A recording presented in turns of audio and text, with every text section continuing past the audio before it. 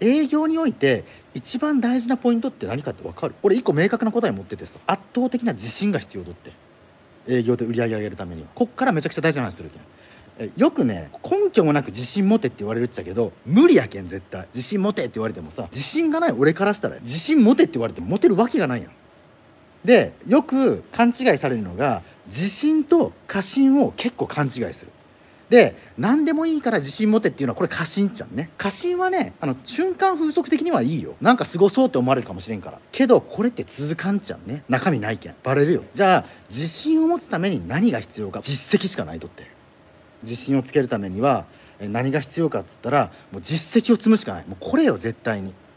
なんか気持ちの部分とかマインドの部分とかでなんとかなる問題では全くない。営業においてね。今ちょっと大事なこと言ったよ。